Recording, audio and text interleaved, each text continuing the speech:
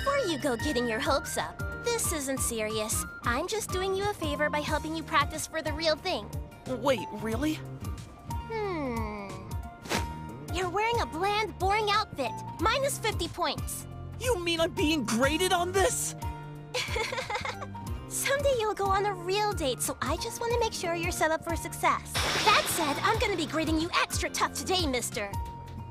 Though, if I'm being honest, I don't see you ever going on a real date. You're too creepy to be dating material. You're slouching for one, minus a hundred points. And you're lanky and awkward, minus another hundred. How am I supposed to come back from that?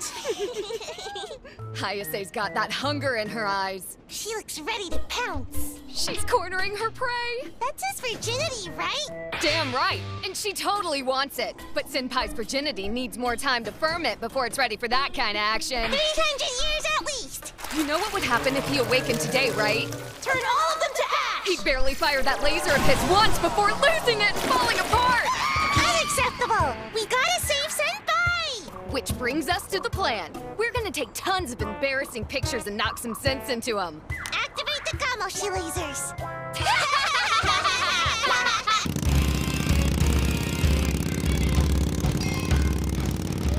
These demon girls are truly despicable to behold. They sicken me.